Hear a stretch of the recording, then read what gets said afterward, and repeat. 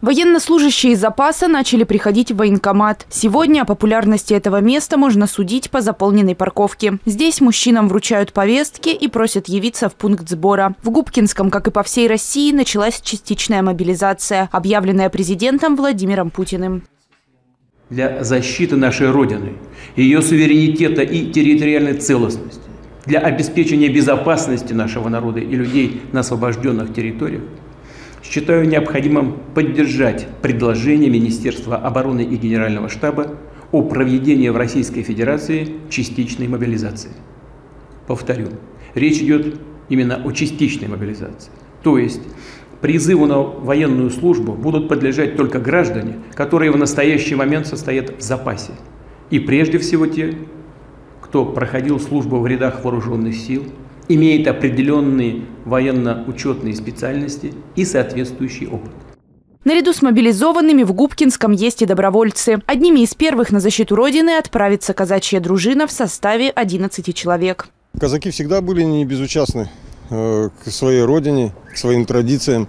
А вот, э, и как главнокомандующий, когда дал э, приказ на мобилизацию, мы сразу собрали сход и решили идти тоже защищать свою родину, свои семьи, своих детей. Казаку стыдно не защищать свою родину. Во время обращения президент подчеркнул, резервистов приравняют к военнослужащим по контракту. Кроме того, каждый ушедший на службу ямалец единовременно получит 300 тысяч рублей. Всех не призывают. Перечень тех, кто не подлежит призыву, определен буквой закона. Временно негодные по здоровью, ухаживающие за родственниками-инвалидами, отцы четырех и более детей, сыновья многодетных матерей-одиночек. На рабочих местах остаются сотрудники оборонки и IT-сферы. Отсрочка предоставляется и студентам. В первую очередь для выполнения необходимых задач мобилизуют рядовых, сержантов, мичманов, офицеров, имеющих боевой опыт.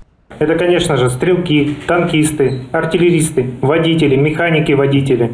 При этом, как таковой очередности призыва граждан, пребывающих в запасе, не установлено.